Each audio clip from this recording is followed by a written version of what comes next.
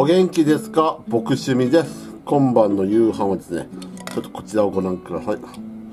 土鍋でね四川風麻婆豆腐を作ってみました。今回はね、えー、辛い方のね麻婆豆腐でございます。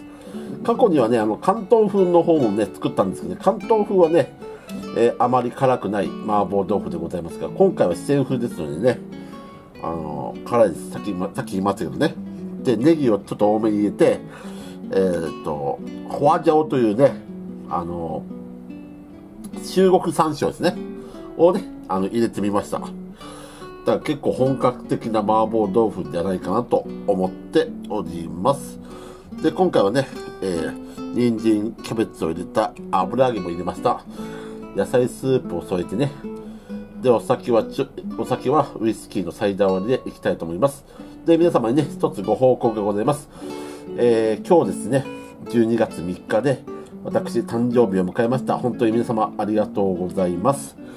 えー、皆様がね、見てくださるおかげで、私のチャンネル、僕の趣味チャンネルが成り立ちますので、え今後とも、えー、僕の趣味チャンネルをよろしくお願いいたします。